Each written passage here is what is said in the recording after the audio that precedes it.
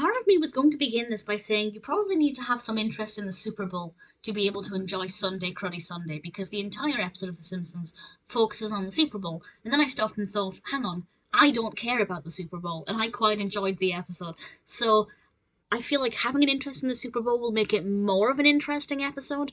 But nevertheless, I think there are still things in there that are enjoyable. It's the 12th episode of the 10th season of The Simpsons, directed by Steven Dean Moore. It's got 7.0 out of 10 on IMDb, which in itself is not a bad rating, but for an episode of The Simpsons, that's actually pretty low, considering there are quite a, quite a lot of episodes in the 8s and the 9s. That's a really low rating. And honestly, I thought it was pretty decent. Homer and a bunch of his friends get tickets to the Super Bowl, but when they get there, they realize their tickets are counterfeit.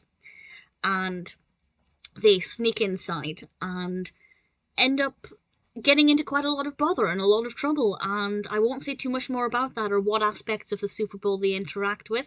But I think the change of environment, so it's not obviously just set in Springfield, makes things quite interesting and really keeps the pace up. And I don't care about the Super Bowl, but I still found it interesting. I liked seeing the stadium being animated and the food table, and I enjoyed all of those aspects of it. It's also got a very, I was going to say a brilliant um, supporting voice cast, but when I mentioned some of them, that may not be the case. But definitely, a Dolly Parton voices Dolly Parton, um, really great involvement there, and some others who I won't name partly because some of them I'm not aware of, but I do know that they're quite notable names. And there is one. Well, Rupert Murdoch voices in it. I'll say no more than that. But that's certainly something that maybe hasn't aged very well. But it's definitely an interesting aspect of it. So I think there are certain things in this that will appeal to everybody.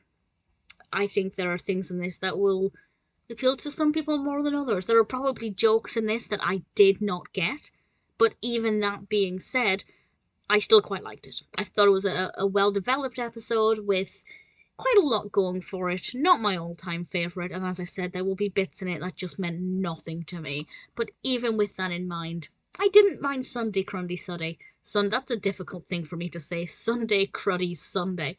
Um not a terrible episode, but clearly not rated as highly as a lot of them. So it seems like opinions are mixed. Let me know what you think of it. Personally, I wouldn't mind watching it again, but it's never going to be my all time favourite.